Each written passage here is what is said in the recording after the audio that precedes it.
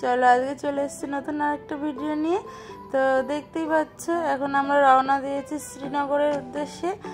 আমাদের গাড়ি চলতেই আছে, এখন আমাদের আমাদের বাসে করেই যাচ্ছিলাম। ট্রেভেলস যে বাসগুলো হয়, সেই বাসেই আমরা চলছিলাম। তো চারিপাশে, চারি, দু, গাড়ির দুপাশে অপরূপ সৌন্দর্য। মানে কিছু যদি কোথাও ঘুরতে না গেলেও ওই পাহাড়ের গায়ে বসে থেকে আশেপাশের মানে প্রাকৃতিক দেখেই মানে মন ভরে যায়। আর পাহাড়ের সৌন্দর্য সবসময়ই অন্যরকম। তো আমরা এখন যাচ্ছি শ্রীনগরের উদ্দেশ্যে, সেটা তোমাদের প্রথমেই বললাম। তা অর্ধেক সময় ঘুমিয়েই কেটে গেছে আমার বাসের মধ্যে। তো তোমরা দেখতে পাচ্ছ যে আমরা আমরা তো পাহাড়ের উপর দিয়ে যাচ্ছি, ঠিক আছে। কিন্তু পাহাড়ের ওপরে যে সাদা সাদা দেখতে পাচ্ছ দূরে, ওগুলো হচ্ছে মেঘ। মেঘগুলো এমনভাবে রয়েছে, মনে হচ্ছে যেন আমরা মেঘগুলো হাতে নিয়ে ধরতে পারব। তো আমাদের গাড়ি চলেই যাচ্ছে, চলে যাচ্ছে। মনে হচ্ছে আমরা শ্রীনগরের অনেকটা কাছেই চলে এসেছি। রাস্তা শেষ হচ্ছে না, সেই অনেকটা সময় হয়েছে আমরা জার্নি করছি। আর এই যে যে কাজ, পাহাড়ের এত রানিং, এত সুন্দর কাজ করছে মানে দেখেই মনটা ভালো হয়ে যায়। আর এই পাহাড়ের গা দিয়ে যে নদীটা চলে যাচ্ছে, উফ মানে মানে দেখার মতো। আমরা মনে হচ্ছে ট্যানেলের মধ্যে পৌঁছে গেছি। তো এই রাস্তাটা এমনই একটা রাস্তা যেখানে আমাদের ও রাস্তা দিয়ে গেলে যদি এক ঘণ্টা লাগে, এই ট্যানেলের মধ্যে দিয়ে গেলে আমাদের কম কুড়ি মিনিট মতো সময় লাগবে। খুব তাড়াতাড়ি পৌঁছানো যায়। তো আমরা ট্যানেল থেকে এখন বেরিয়ে চলে এসেছি আর দেখতে পাচ্ছ কি ভয়ানক। মনে হচ্ছে যেন মানে শেষ নিচের দিকে তাকালে। ভীষণ ভয় করছিল, আমার তো নিচের দিকে তাকাতেই পাচ্ছিলাম না। কীভাবে গাড়িগুলো চলে যাচ্ছিল, আর এখানে অনেক কাজ হচ্ছে। মানে পাহাড়ের প্রত্যেকটা জায়গায় কাজ হচ্ছে। ওই যে আবার নদী দেখতে পাচ্ছি আমরা সাইডে একটা। মনে হচ্ছিল যাই, আস্তে আস্তে নেমে যাই। কিন্তু নাম, গাড়িটা দাঁড় করাচ্ছিল না ড্রাইভারটা। ওই যে কাজ হচ্ছে। প্রত্যেকটা জায়গায় কাজ হচ্ছে আরও প্রচুর ট্যানেল হবে।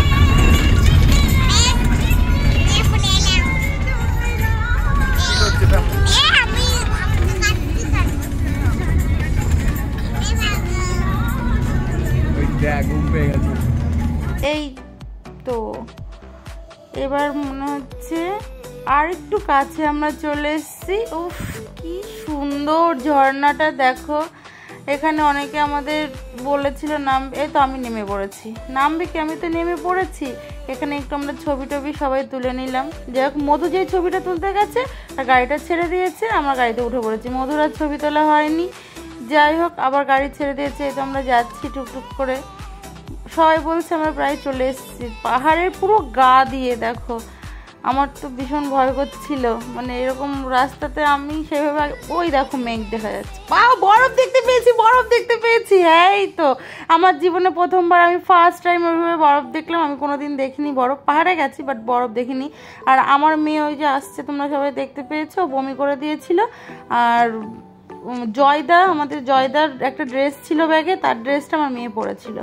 আর এই যে যে দৃশ্য মানে ফার্স্ট টাইম বরফ দেখা, তা কার কার এরকম প্রথমবার বরফ দেখে কেমন লেগেছিল আমাকে অবশ্যই কমেন্ট করে একটু জানিও। আর কি বলব মানে এই দৃশ্যটা ভোলার না। আর তোমরা দেখতে পাবে জায়গায় জায়গায় প্রচুর সর্ষের ফুল। মানে মনে হচ্ছে আমাদের এখানেকার মতো। মানে এতটা সর্ষের ফুল হয়েছে ওখানে, প্রচুর জায়গায় যে সর্ষের ফুল চলে এসছে বলতে বলতে। মানে কি সুন্দর, মনেই হচ্ছে না আমরা কাশ্মীরে আছি। মানে এত সর্ষের ফুল আমরা ওখানে দেখেছি। মনে হচ্ছিল আমরা তুলে এনে তাদের করে পকোড়া যায়, আমরা খেয়ে নিই কিন্তু তুললে মারবে আমাদের ধরে। যাই হোক দরকার নেই, বাবা থাক, আমরা ঘুরতে গেছি, আমরা ঘুরে চলে আসব। দেখতে পাচ্ছ, ওই যে রাস্তার পাশে যে দোকানগুলো আর ওই যে ছোট ছোট যে মানে পরপর সাজানো আছে, ওগুলো কি বলো তো ওইগুলো ওখানে ব্যাট ভীষণ ভালো তৈরি হয়। ওই যে গাছগুলো দেখবে রাস্তার দুপাশ দিয়ে যে গাছগুলো, ওই গাছগুলো কেটে কেটে মানে চিরাই করে ওরা ব্যাট তৈরি করে। ওখানে ব্যাটের প্রচুর কম দাম। আর আমরা এবার একটু নামবো। নেমে এখান থেকে আমরা প্রচুর ইয়ে ড্রাই ফ্রুটের দোকান আছে, আমরা ড্রাই ফ্রুটগুলো নিয়ে নেব। এখানে ড্রাইভার আমাদের গাড়িটা দাঁড় করিয়েছে। তো সবাই নেওয়া দেখে আমারও নিতে একটু ইচ্ছা করল। বলল মানে এই দোকানটা নাকি খুব ভালো। জাফরান পাওয়া যায়, আমন, পেস্তা পাওয়া যায়। তো আমিও এবার গেছি দেখতে। তো ওগুলো মনে শুকনো আপেল না কি বলো, ওরকম কিছু দেখাচ্ছিল। তো আমি কি নিয়েছি হচ্ছে, আমন বাদাম নিয়েছি আর হচ্ছে তোমার জাফরান নিয়েছি। তো জাফর আমাদের নিয়ে কেনাকাটা হয়ে গেছে, আমরা গাড়িতে উঠে পড়েছি, গাড়িটা আমাদের ছেড়ে দিয়েছে। আবার আমরা রওনা দিলাম। তো যাই যেতে থাকি। আর হচ্ছে চারিদিকে আমাদের সিআরপিএফ ওরা যেভাবে মানে ডিউটি করছে, আমাদের জন্য অত কষ্ট করে ওইভাবে পাহারা দিয়ে আমাদের দেশের জন্য লড়াই করে থাকছে। আর এই যে দেখতে পাচ্ছ যে, ওই যে, ওইগুলো হচ্ছে আপেল গাছ। দুর্ভাগ্যবশত আমরা আপেল দেখতে পারিনি। আপেলের ছোট ছোট ফুল দেখেছি। আমরা আপেল দেখতে আবার যাব, ইচ্ছা আছে। যাই হোক, দেখি কখন পৌঁছাই। রাস্তায় তোমার শেষ হচ্ছে না, চাদর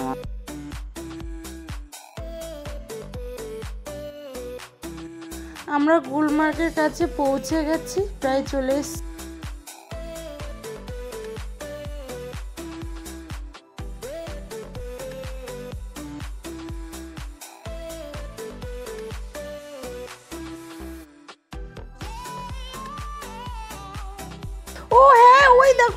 দেখতে পাচ্ছ কে কে? স্নোফল প্রচুর স্নোফল হচ্ছে। আমরা গাড়িটা থেকে নামতে না নামতে স্নোফল উফ, সত্যি কি সুন্দর। মানে আমার ফার্স্ট টাইম বরফ দেখা বলে স্নোফল বলে, আমার ফার্স্ট টাইম যাই হোক, আমরা নেমে পড়েছি। আর মানে ড্রেস আমাদের ভাড়া করে আনতে হয়েছিল, সেটা তোমাদের দেখাতে পারলাম না। যাই হোক, আমরা গাড়ি থেকে নেমেছি কি? মানে একভাবে স্নোফল এত ভালো লাগছিল। আমার মেয়ে স্নো বাড়ি থেকে যাওয়ার আগেই বলেছে মা আমি স্নোফল দেখব। আর ওখান থেকে গাড়িতে নেমেই ও স্নোফলটা দেখে মানে আমাদের মন পুরো মানে খুশি হয়ে গেছে। এতটা ভালো লাগছে। আমরা মানে ঘুরতে যাব কি? গুলমার্কে আমরা ওপরে না উঠে আমরা ওখানেই আমরা দাঁড়িয়ে পড়ে ছবি তুলছি, নাচ করছি, ঘুরছি, ফিরছি। আমার মেয়ে তো ভীষণ খুশি। হ্যাঁ আর দেখতে পাচ্ছ চারিদিকে বরফ পড়ে পুরো কি সুন্দর হয়ে রয়েছে। ভীষণ ভালো লাগছিল। তো যাই হোক ফার্স্ট টাইম আমি এরকম বরফ দেখছি, আমার ভীষণ ভালো লাগছে। এরপর আমি হ্যাঁ মানে ও কাশ্মীরে গিয়ে অন্য অন্য জায়গায় অনেক বরফ দেখেছি, কিন্তু এটা তো ফার্স্ট টাইম কত কি বানিয়েছে হ্যাঁ ভীষণ ভালো লাগছিল, ভীষণ ভালো লাগছিল। এটা একটা অন্যরকম অনুভূতি, যেটা ভাষায় আমি প্রকাশ করতে পারছি না, পুরো কালিয়ে হয়ে গেছে। বরফগুলো পুরো গলে গলে এখন পড়ছে, আর ওগুলো পাথরের মতো হয়ে গেছে গলছেও না।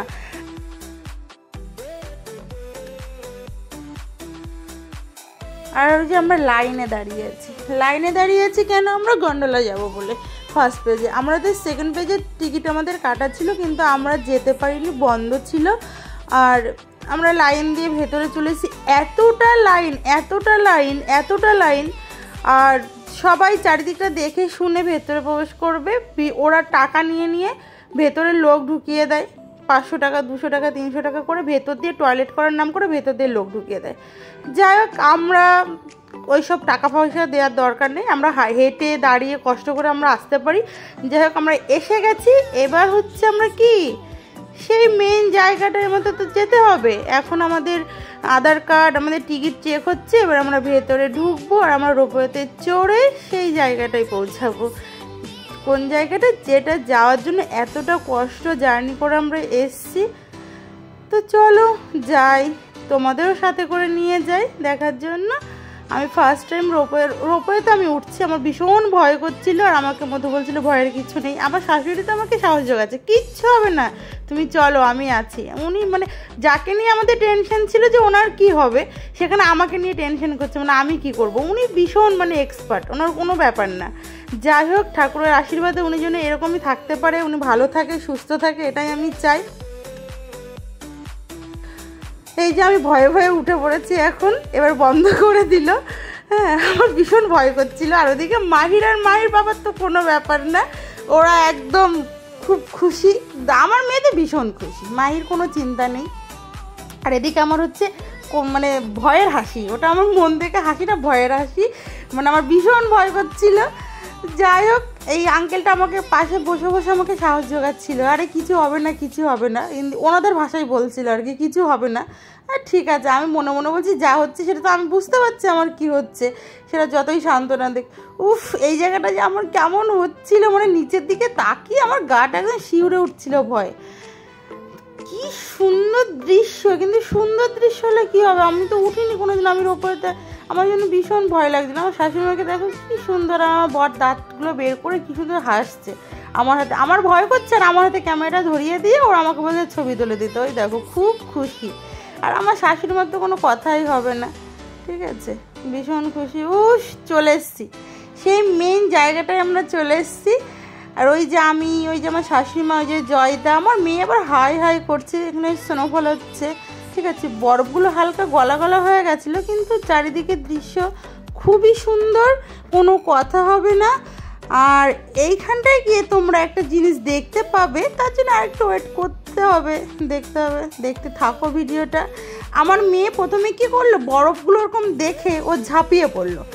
ঝাঁপিয়ে পড়ে কি করল, বরফগুলো আগেই, কি বলে ওটাকে হ্যান্ড গ্লাভস খুলে ও বরফগুলো চটকাতে শুরু করল। চটকাতে চটকাতে ওর কী হলো আবার বুঝতে পারিনি, আর আমরাও ফার্স্ট টাইম আমার বরফ দেখা, আমিও বুঝতে পারিনি। ওর ঠান্ডা শীত লেগে গেছে। একটু পরে দেখবে ও কি করে। ঠান্ডা ও কান্না করবে। আর ওর বাবা তো বরফ নিয়ে ছোড়াছুড়ি করছে। যাই হোক বরফটা না একটু কেমন জল জল হয়ে গেছিল। সেই ঝুড়ো বরফটা হলে একটু বেশি ভালো লাগে খেলতে। আমার শাশুড়ি মতো হাত পা তুলে নাচা শুরু করে দিয়েছে। যেটা উনি নাচতে ভীষণ ভালো পারে। উনি ওই দেখো মাইক আবার বলছে, নাচো নাচো নাচো। ওনার সাথে নাচতে বলছে, মাহি আবার হাতে করে বরফ নিয়ে বাবাকে ছুঁড়ে মারছে। ওই দেখো। দেখেছ? আর আমার শাশুড়ি মাকে দেখতে পাচ্ছ?